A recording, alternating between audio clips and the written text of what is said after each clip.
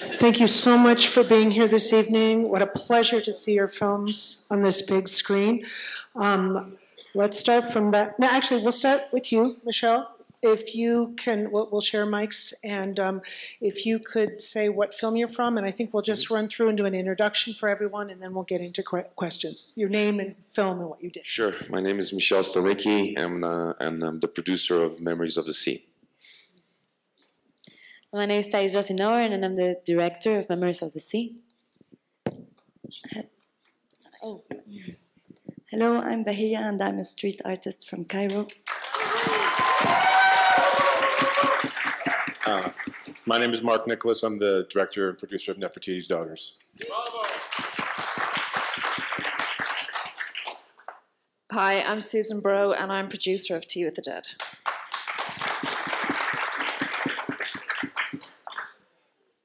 So we had a really eclectic program, and we have representatives from animation, documentary, and fiction um, on the stage. Uh, Thais, I'd like to start with you. Um, could you tell us where the idea for your story came from? Did it start with a character, a place? What? Sure. Um, so this is a script that a friend of mine, Sudarshan Suresh, wrote originally, and it's a part of um, our master's program at Columbia where uh, we have this project where somebody writes a script and then you as a director approach that writer uh, if you're interested in the story and you pitch um, the way that you envision directing it and then you work together to adapt the script into something that um, that you wanna that you wanna come um, place in the screen. So, um, so this is a uh, story that originally came from him, but I identified with the themes uh, that he, I identified with the themes that he was touching. So um, I approached him and and um, and then we started working together and restructuring it. Yeah. Um, could you say a little bit about, if it's not too personal, what themes you identified? Why did it this project particularly speak to you? Um, I think it's uh, it's very interesting to see how kids uh, understand the world around them and how they adapt to new situations and um, they deal with grief and loss and something that I've dealt with personally and um, and how when adults don't give you answers, you have to find answers and create your own uh, explanation of what's going on and that's something that I felt very drawn to and, and wanted to explore and take to the screen. Yeah. And Michelle, how did you come to work with Thais? It's part of the same collaboration. We, I'm, I'm in the MFA program as a creative producer, and uh, part of the process is also to find a director and a writer and be able to produce a story. And we had a wonderful idea of bringing it to Brazil, so we decided to go all together and find the locations and figure out how we can do it. And uh, it was just a wonderful collaboration to have together with this great group of people from Columbia University. And was the script set in Brazil, or did you? If if it wasn't, why did you choose Brazil as your place to go? Other than like, what a great place to go. Well, I think there's a couple of reasons for that. Um, Thais, she lived there when she was younger. I'm from there, and we felt together that uh, it would be great to shoot it down there. So we took the challenge. So, Mark, I'm going to start with you. Um, for tell us how this was a long process. This distillation of wanting to it, just talk about the evolution of this project and how you came to specifically focus on what you focused on and how you found your wonderful artists. Uh, before I became a filmmaker, I had spent about 15 years in, in national democratic politics, and my political career began through the press and communications shop. So I'd always had a um, fascination by the ability to communicate message to the public. And so when I was looking at doing a, a short last year, actually this was only, I mean, I interviewed Bahia less than a year ago.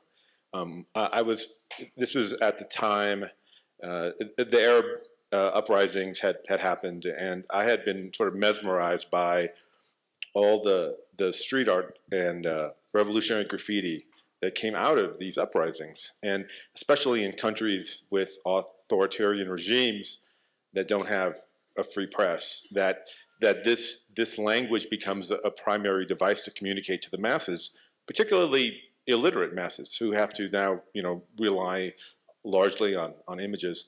So the thought was to do a, a you know 20 25 minutes short on you know generally on revolutionary street art.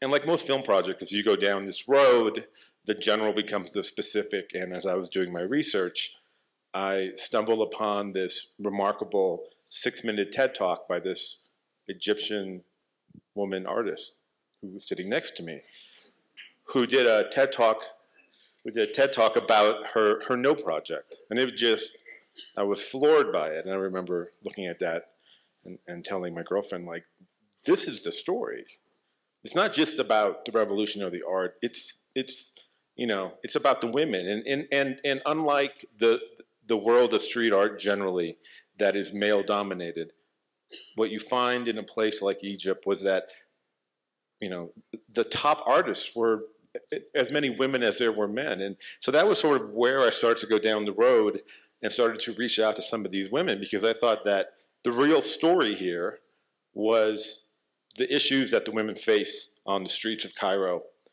but also these unbelievable artists who run the risk of being assaulted as they're doing their art, and then after the assault get arrested by their government for expressing a point of view. And so that was when it started. And uh, I, know, I spent 11 days in Cairo shooting last April, and amazingly, she decided to, uh, to she amazingly believed that a white male American filmmaker could possibly tell the story of you know Egyptian women artists, and I mean that's just a humbling thing, and I can't believe she did it. And so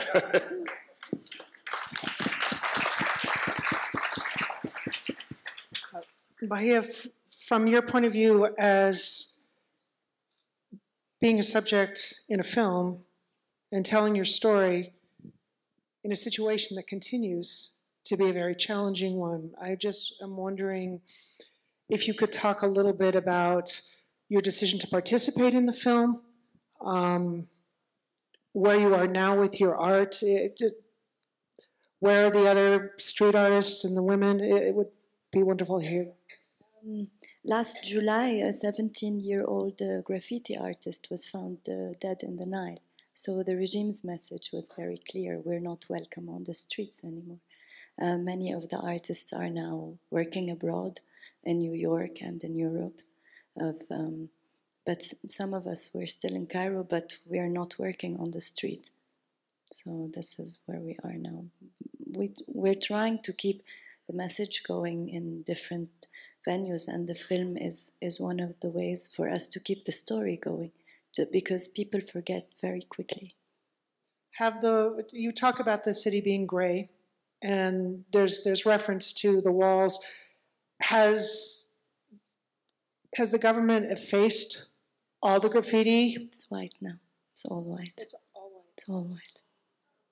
So, as artists and as revolutionaries, how else are you? What else are you doing? Is there another way that you're getting your work out if since it's dangerous to be in the streets? I'm just curious in terms of social media or. No, I now I teach design. I have I'm graduating. I developed a design program for the American University in Cairo, and I'm graduating my first class this year. So I've put all of my energy into my students, and I'm really proud of their ideas. Their all of their projects are about identity and history and the revolution. So you channel the message until you can go back to the street, if we can ever go back to the street.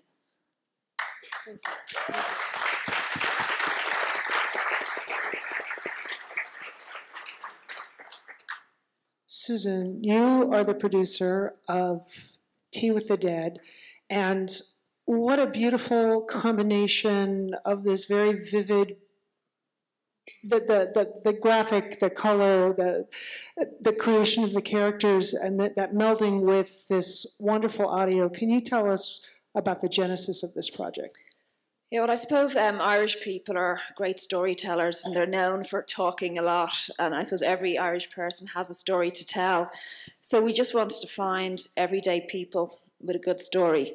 And that episode, Patricia, is actually the director's mother. And that is a true story. And we interviewed her for about four hours and we cried for the whole thing. And we had to cut it down to seven minutes. And we have five more, four more of those stories, and they're all amazing. So this is the director's mother, and it's her story. And it's also a very poignant story because it's not only a story of adoption, but it also is a story of how women had babies and it, yeah, and Can Ireland, you talk a little bit about well, that? basically, Ireland is a, a very Catholic country, so I suppose up until quite recently, you know, children that were born out of wedlock, it was a big taboo, and it was an embarrassment to families. So, so many people have gone through this. So, I suppose it resonates with a lot of people, um, because there's so many stories now of women being forced to give babies up, and her mother, you know, was forced. She was a nurse. She went back after she had the baby, and there was rumors in the town she wasn't allowed to get her job back as a nurse. You know, she had to leave, go to Canada. She never married. She never had kids, and she carried this stigma with her her whole life. And even when her daughter came to Canada to meet her for the first time, she didn't tell anyone it was her daughter, even though you know it was the happiest time of her life to finally meet her daughter. She still had that that guilt of having a baby out of wedlock. So you know, all the stories are, but the, the idea of having the embalmer was was just a vehicle of, of their last story to tell to make it a bit more poignant, I suppose. And could you talk about where the framing device of the mortician having tea with a cadaver, a spirit, how did that come? Because there's so many ways to tell that story. I'm just Yeah. curious, why was it told that way? Well, Irish people, as well as like to tell stories, they like their tea. So we do a lot of talking over tea. so I suppose it was just again, it was their last conversation over a cup of tea, and that that was the the premise. Thank you. Um, I would love to open it up to you in the theater because I know you have questions. Please. Yeah, uh, what, just a second, going back over here, please. Yes. Can you speak up? Yeah, I'm curious with Nefertiti's daughters, whether there's any concern uh, that you both have um, about retaliation uh, for, for appearing in this film or for making this film with uh, these artists. Uh, the question is if there's, uh, for the filmmakers of the of Nefertiti's daughters, if there's any fear of that there could be retaliation against the artists who appear in the film or towards you yourselves. Um, we've been trying to um, make a lot of public appearances everywhere. Um, I give talks to schools, to wherever I'm invited, I go. And this is our strategy by keeping a very high profile. It's a kind of protection for us against the government. Um, but that doesn't mean that accidents can't happen. But, you know, it's part of the game. And what about for the other artists that appear in the film? I think they have the same concerns. Some actually, Ganzeer is in um, New York because he was uh, he was being aggressively uh, pursued, so he just left the country. So, and it depends on how much um, spotlight they put on you. Mm. They just they can just decide to pick on you, and so And this is maybe uh, this is maybe a difficult, uh, probably a difficult question to answer. It's a difficult question to ask in terms of uh, targets. It's it, that artists are truly seen as uh, it- are, are artists considered sort of an easy prey for the government, or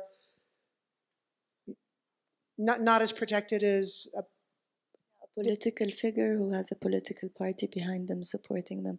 So yes, in that sense, we are quite vulnerable. But uh, I think uh, if you're not um, openly criticizing the current current regime, which which none of us has been doing, or actually a couple have been. And that's why they're out of the country. So, if you don't openly criticize the current regime, then then you're fine. But the minute you start criticizing them, we have many activists in prison with very long prison sentences. Yes, there was a question that I, yes, please. Thoughts on Julian Assange? Yeah, who are you, I mean, do you have someone you're directing it to, please? No, no, we know, but, but to what filmmaker are you, is this to Mark? I- mean, I don't have a strong. I mean, Julian Assange. I mean, I think Edward Snowden's an easier analysis. I mean, I, I view what he did as being something that was patriotic. He he did his best to speak out against excesses, and I think he's been consistent. I mean, Julian Assange for me d- does. I, I mean, there, there there's a lot to like, and there's a lot to be. You know, like there was a there was a dumping of information, sort of out there without context that doesn't fully sit well with me. But, I, but what does sit well with me is the idea of greater transparency, holding our government accountable, and I think along those lines, I just don't think he's a clear-cut case like a like an Edward Snowden is for me, in, in my opinion. Um, I'm going to ask you a non-Julian Assange follow-up question. Um, at- you're talking about how you came to the film and how you revolutionary in the streets. I'm just, could you share with us what it was like for you as a filmmaker to be interviewing these artists and how that informed your process, not only telling their story, but just you as a, a, as a creative person? I mean, you spend 11 days in Cairo interviewing people like Bahia and other artists who've been out there going after their government. And, and the first feeling I had as an American was I'd never really done a courageous thing in my life. I mean, any notion that I've ever been brave is a joke. I mean, you're, you're in a place like Cairo and you listen to what they've done, and you just, you know, you quickly realize how we live in very, very different worlds. And I think there's that sense of just sheer awe that they do what they do and, and are prepared to suffer the consequences for it. I mean, as far as how it informed me as a filmmaker, it gave, you know, I- grew up in Oakland, California. So I think anybody who's grown up in a rural urban area um, was raised with street art and graffiti around them. And you either, you know, for better or worse, saw it. And I'd always had an unexplored fascination with it and didn't always know what to make of it. And then you go to a place like Egypt and you realize that that street art and that graffiti in that climate becomes a prime way of communicating with the masses. Pushing back on violence against women or, you know, rallying against the government. And, and I think you really get a diff, different appreciation for, you know, what street art can be or could be or should be. Um, and I think that was what really made this film for me uh, so such an amazing story. It's not just the characters who are remarkable, but the, the language that they use. Um, you know, you see artists, activists going back forever in conflict, and I think that, I mean, I think Bahia is an amazing example of that artist, at, you know, activist that, um, you know, just through sort of the simple act of paint on a wall, you can communicate your society's hopes and dreams and fears and demands in a way that people understand so quickly. Teresa, I'd like to ask you a question. Um, one of the things that is so affecting about Memories of the Sea is the point of view that you have and how you really enter the child's world. And it start and, and that how you withhold information from the audience in terms of point of view. And I just like to we've talked a lot about uh, the last couple days about there's the there's the script, there's the film you shoot, and there's the film you edit. Were there any? What were some of the dramatic changes that happened for you in terms of how that story is revealed? For, Um, sure, yeah, that that was one of the main parts of restructuring the script. I wanted to to have that slow reveal of information, and I wanted um, the audience to feel the same way that Fidel did, and not know exactly what was going on around him. And then I, I took that into how I envisioned the movie, and um, the shots helped me tell that by not showing the complete uh, world around him as well, and just seeing the grown-ups as parts, body parts, and and um, and just uh, um, having a um, having the, the the view of of of the situation to, to say it in some way, uh, the same way that Fidel was doing it, and and that um, and that carry out carry out to to the edit um, uh, just by by having that slow reveal of the story, but but that was already uh, planned as I went on to shoot. That was the idea.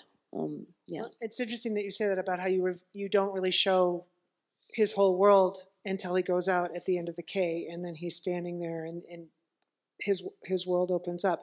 Um, could you tell us a little bit about casting Fidel? He is really wonderfully photogenic.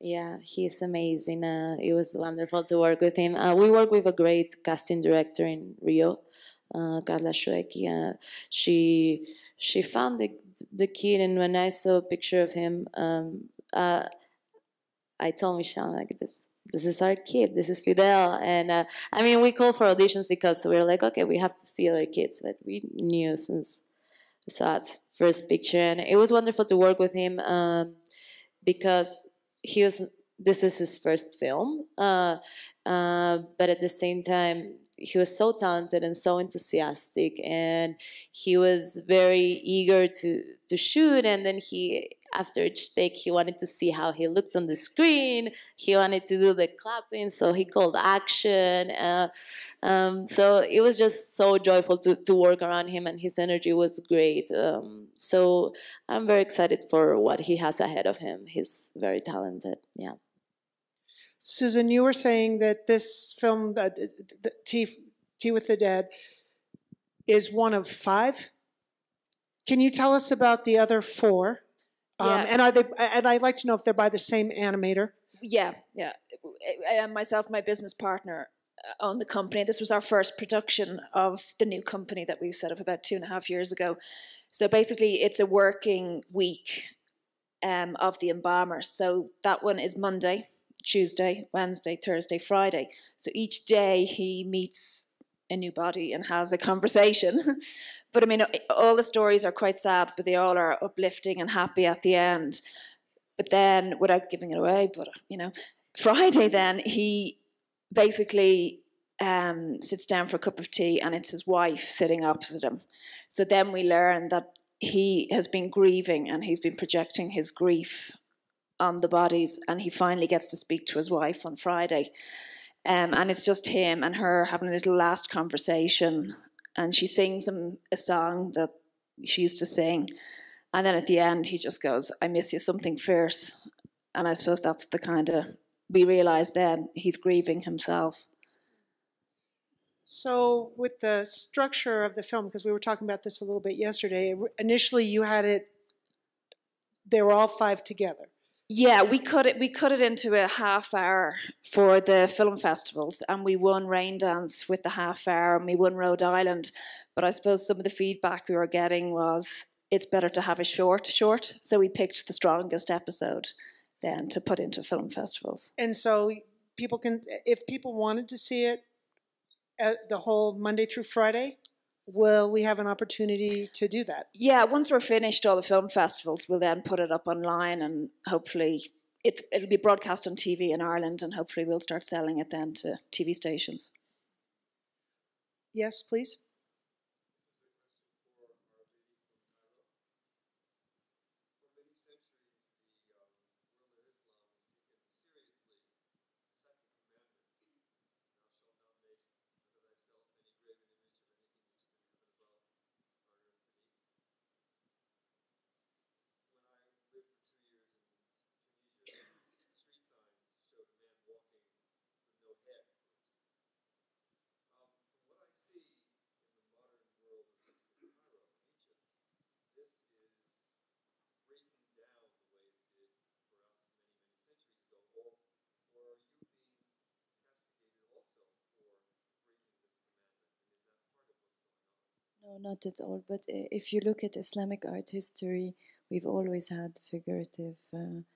um, representation. So this even historically in manuscripts, um, you had uh, you had that present.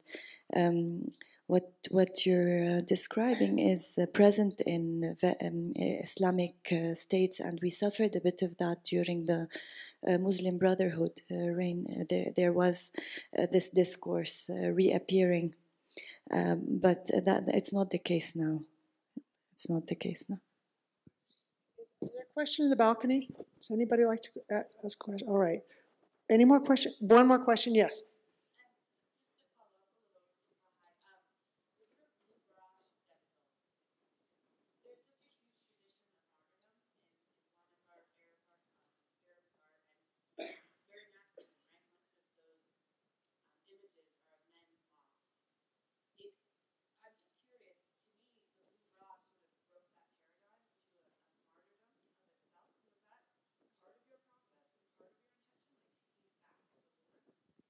It's, If I can repeat, just because people in the balcony, did everybody hear that?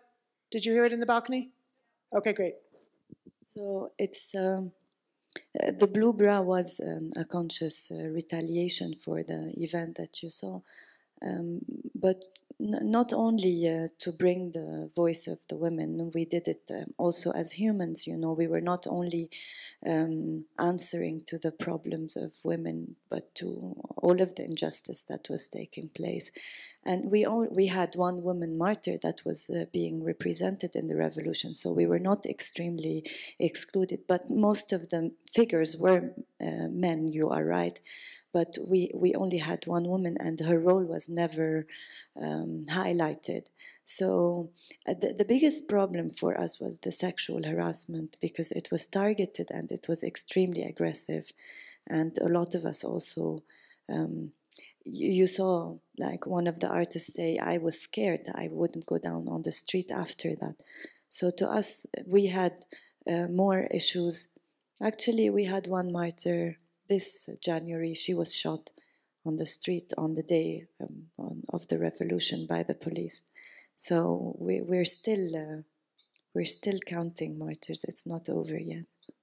Actually, I do have one final question for you um, for right now, which is um, when street artists, whether it was women or men, did you go out together? Did you, was it, was it a solitary activity? Did you go out to protect each other? Yes, it was amazing because in Tahrir, at some point, uh, the men would make like um, like a fence with their bodies to protect, and they had tunnels, safe tunnels of men, men's bodies where women could walk through in the crowd. So it was very organized. Uh, it was, and then later on, on the 30th of uh, June, we were standing in the. Um, we had a whole area exclusively for women, and the men were standing around to protect them. So we had systems in place for uh, protecting women that were actually going down to the street. I want to thank you all for being here. It was like, what a great screening and what a great conversation. Thank you. Thank you.